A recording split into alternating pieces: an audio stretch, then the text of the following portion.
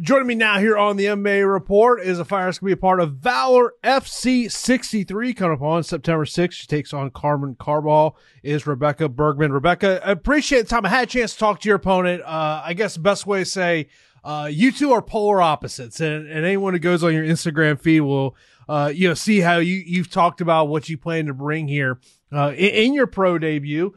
But, uh, you know, in terms of how you started on this martial arts journey, when did it actually start? Um, it actually started when I was 19 and I uh, met my current and boyfriend, Eric Olson, and he was training people. And back when I was like 15, I was doing Tiger Schulmann's and I always wanted to fight, and they never put me in a fight because they kind of put me on back burner, had their own favorites. But um, that's few and far between, but whatever. Uh, I just started when I was 19. I trained my hardest. I got like 25 kickboxing fights and two MMA fights um, amateur, so I'm 2 0 in MMA amateur, so 27 fights altogether. And uh, I just loved it ever since I got into the sport. Is there a particular aspect of, of martial arts of why you love it so much? Um, it's a very good outlet I have for me since I have a lot of stress and uh, you know anger built up from past experiences and everything. But uh, I really enjoy it, and you know it's just it's just a way for me to let loose, so to speak. You know.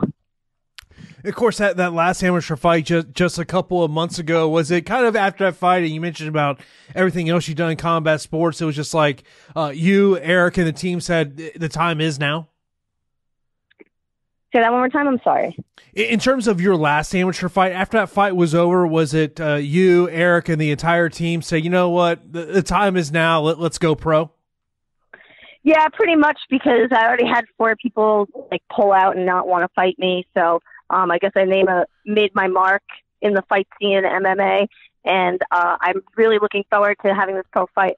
But I have some bad news to tell you guys, and I know you probably didn't hear about it, but I just was heard about it yesterday.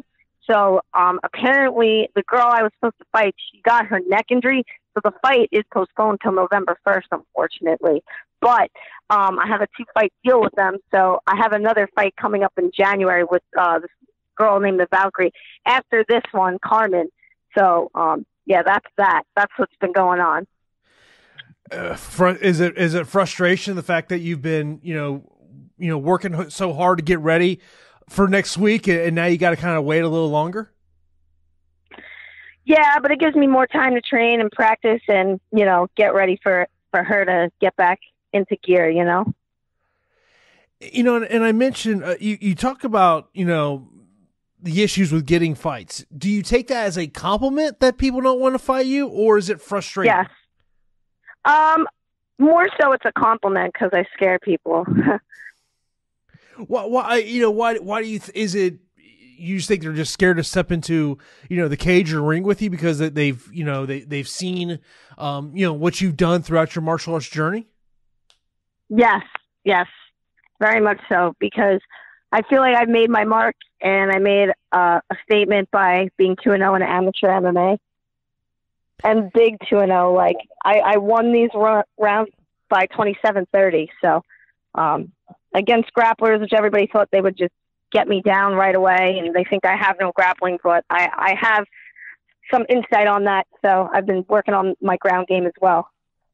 And, and you know, this matchup that now's in November it, it was striker versus grappler. Um, do you think that you know Carmen was looking at you as okay? You know what? I maybe thinking that your ground game isn't what you you know it is, and maybe she was underestimating your abilities.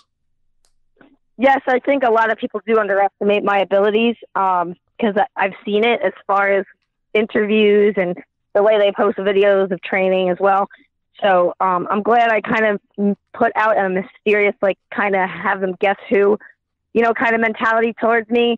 And if they underestimate me, they underestimate me. I really don't give a crap. So it is what it is. What What would you want the MMA fan to know about you? Say that one more time. What would you want the MMA fan to know about you? About you know who you are as a as a fighter or or as a person. Well, I want them to know I'm as real as it gets when it comes to the fight scene. I don't play any games. I don't beat around the bush, and I I don't kiss the ring, as they say. But a lot of people underestimate me, like I said, and they think I can't grapple cool. Uh, grapple with me and see who I train with. I mean, it is what it is. You you mess with the bull, you get the horns. You know. Rebecca, I really appreciate the time. Uh, look forward to seeing the fight in November, the pro debut. Uh, of course, let everyone know yes. they can follow you out on social media. If there's anybody you want to uh, shout out, the, the floor is yours. So I want to shout out to Maxim and Islip Terrace, uh, Anthony Giacchina, Eric Olson, and a couple of my sponsors I have sponsoring me, Think Tank, um, Keto Fit, and and I want to also shout out to my good friend Christian Acerbo that also has been helping me through my MMA career. Rebecca, I appreciate time. And, have a... and I'm sorry, one more. and Secrets Gentlemen's Club in Deer Park. And awesome. I have more fights than years alive, so. awesome, Rebecca. I really appreciate time and uh, look forward to seeing the fight in November. All right. Thank you very much for having me.